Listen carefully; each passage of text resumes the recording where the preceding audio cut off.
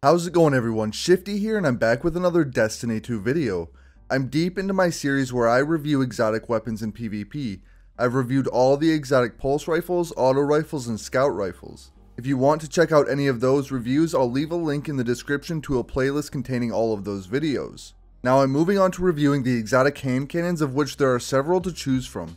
I'm going to start with the one I've used the most in the past, the Thorn, and I believe this is one of the most used exotic hand cannons currently.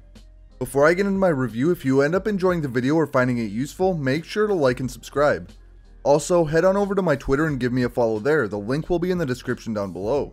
Anyway, the Thorn is a 150 round per minute hand cannon which is currently the best hand cannon archetype. Right off the bat that gives this weapon a 1 up since it's part of a decent class of hand cannons. Let's get into more detail by going over the perks real quick. The first perk on Thorn is Corkscrew Rifling which boosts its range, stability, and handling.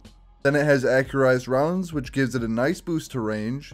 Then the first unique perk on Thorn is Soul Devourer. Absorbing a Remnant strengthens Mark of the Devourer and partially refills the magazine. Note, Remnants are dropped by enemies defeated by Thorn and Mark of the Devourer is the main exotic perk which we'll get to in a moment. The last regular perk is Textured Grip which gives a substantial boost to handling at the cost of a bit of stability. Then the main exotic perk is Mark of the Devourer which makes it so rounds pierce targets and apply damage over time.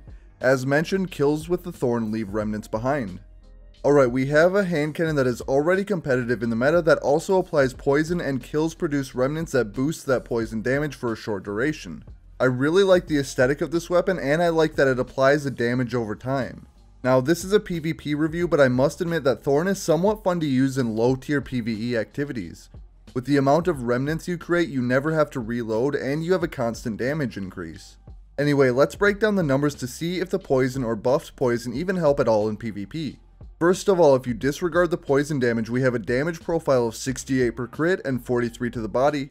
This gives the Thorn an optimal time to kill of 0.8 seconds with 3 crits, and an all body shot time to kill of 1.6 seconds with 5 body shots. Alright, but realistically, you'll always apply poison damage to your opponent. The basic poison deals 2 damage per tick over 4 ticks for a total of 8 damage. So with the poison damage, the damage profile is now 76 per crit and 51 to the body. When this is the case, the optimal time to kill is still 0.8 seconds, but it's more forgiving because you need 2 crit and 1 body instead of 3 crits. Meanwhile, the all body shot time to kill is 1.2 seconds with 4 body shots, which is 75% of the base body shot time to kill. Now, when you grab a remnant, you get a powered up version of Mark of the Devourer for 6 seconds. With this active, your poison will do 7 damage per tick instead of 2 for a total of 28 damage. This makes the damage profile 96 per crit and 71 to the body. Okay, now for anyone 6 resilience or lower, the optimal time to kill is 0.4 seconds with 2 crits. If your opponent has over 6 resilience, then the optimal time to kill would be 0.8 seconds with any combination of body or headshots. This means that the all body shot time to kill would be 0.8 seconds with 3 body shots at any resilience.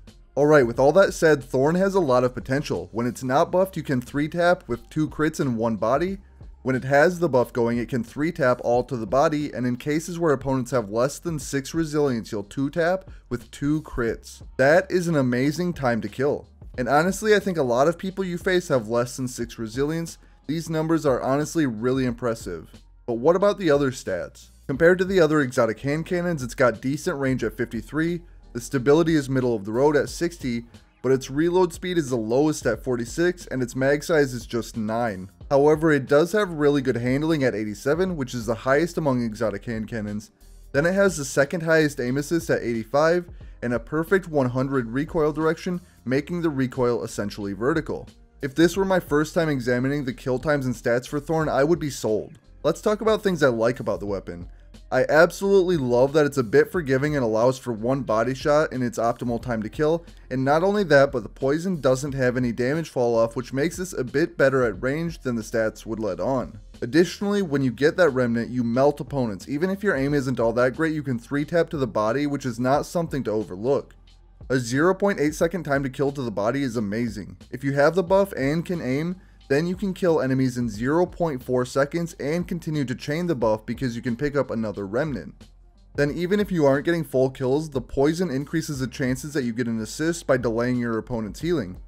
I don't have highlights for this particular match, but I do remember a match on Retribution where I got 17 kills and 20 assists using the Thorn. Anyway, I also feel like the gun handles really well. It doesn't feel slow to use, which is always a plus in Crucible, especially with hand cannons. Moving on to things that I didn't like about the weapon, the range doesn't always feel great when you get into the 4 or 5 tap range. It takes quite some time to kill enemies. This makes sense, but it can really be felt with the 53 range status sometimes. Most of the time I don't have issues with the sights or whatnot, but Thorn has one of my least favorite sights in the game. On some maps in particular, I just kind of struggle seeing it.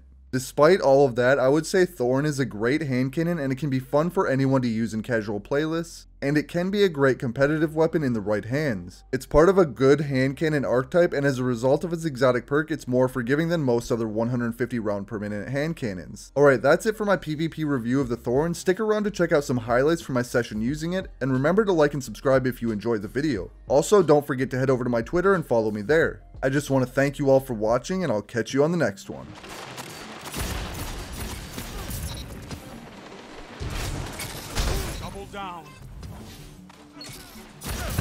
Down. Ikora would be proud of you. Strength.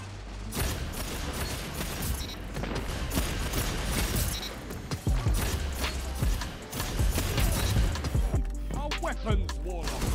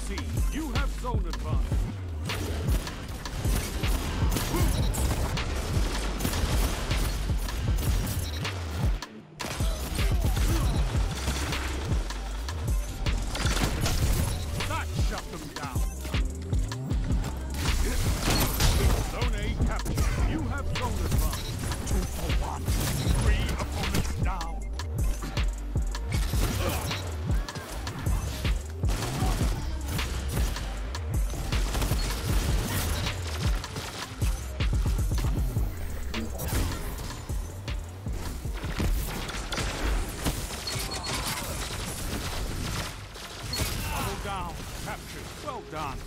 You have the lead. This is amazing.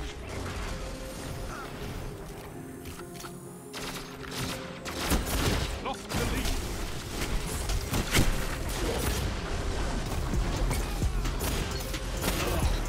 Two for one. What can... Don't see, lost.